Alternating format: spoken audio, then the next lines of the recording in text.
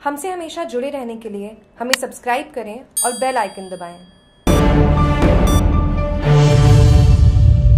Collector साहब, मेरा परिवार भूखा है, मुझे रोज़गार दो। परिवार को नहीं मिल रही है दो वक्त की रोटी। उम्र सत्रह होने पर नहीं मिल रहा है मनरेगा में रोज़गार। कोरोना संक्रमण कोविड 19 महामारी के चलते सरकार के लॉकडाउन के बाद गरीब परिवार के ऊपर आर्थिक संकट से परेशान है। एक ऐसा ही मामला सामने आया है।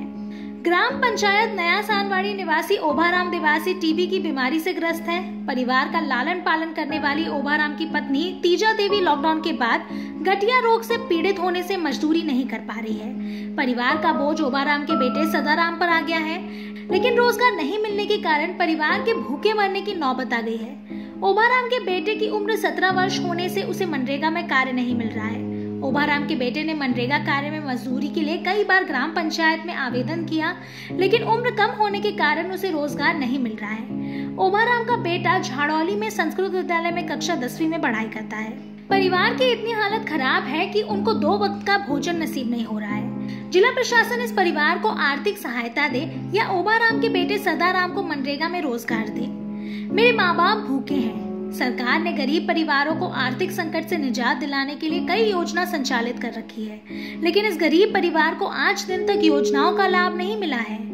परिवार का मुख्य टीबी की बीमारी से ग्रस्त है और ज़िंदगी और मौत के बीच संघर्ष कर रहा है। जीवन के संघर्ष में बीच भवन में अटकी किश्ती को पार लगाने की कोशिश कर रही तीजा देवी भी अचानक गठिया रोग से पीड़ित हो गई।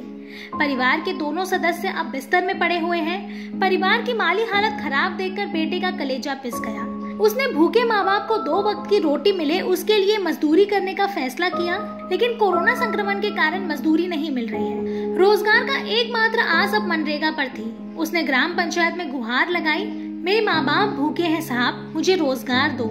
लेकिन ग्राम पंचायत ने सदाराम देवासी की उम्र कम होने की दुहाई दी और सीधा घर का रास्ता दिखा दिया। देवासी समाज हर कोई इस परिवार की माली हालत खराब देखकर चिंतित है। जागरूक टीवी के लिए सिरोही से भवानी सिंह की रिपोर्ट।